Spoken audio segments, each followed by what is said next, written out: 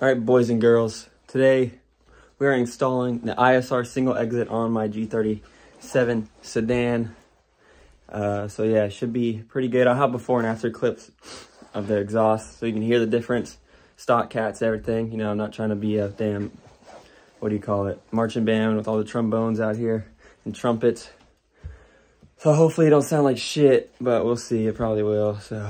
Oh, uh, this is not a how-to video, by the way, because I'm trying to figure out how to put it on myself. But it's just bolts, so just look up someone else's videos if you wanted to see how they take bolts off. All right, got both the mufflers off. But this side's not gonna use anything since it's a single exit, so it's gonna just be bare in here. I should put some anime stickers up here or something cool like that. Man, this bitch rustier than your grandma's poo nanny. Ugh, sprayed out my lube, about to bust it up. All right, boys, today we're finishing, what the hell is that? Putting on the ISR single exit because um, in the last clip you see, I thought it was just rust, but it's actually welded, the flanges are welded together with the, the bolts are welded onto the phalanges. Phalanges, that's a funny word. But uh, here, I'll show you a little close up. It's not the best, but you kind of see those, it's just all welded. So we're taking it, taking it to a friend of a friend's shop and uh, he's just gonna melt those bolts off and then we'll be able to put the exhaust on. Here she is in all her beauty. About to be freaking trombone master over here because this is what we've been rocking the past couple of days. There's no mufflers. But yeah, it actually didn't sound that bad with just no mufflers. So we'll see if it sounds like shit after we put this on. And you can really see how bad they are.